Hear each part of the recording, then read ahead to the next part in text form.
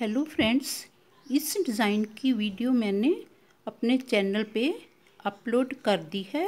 आप वहाँ पे चेक कर सकते हैं।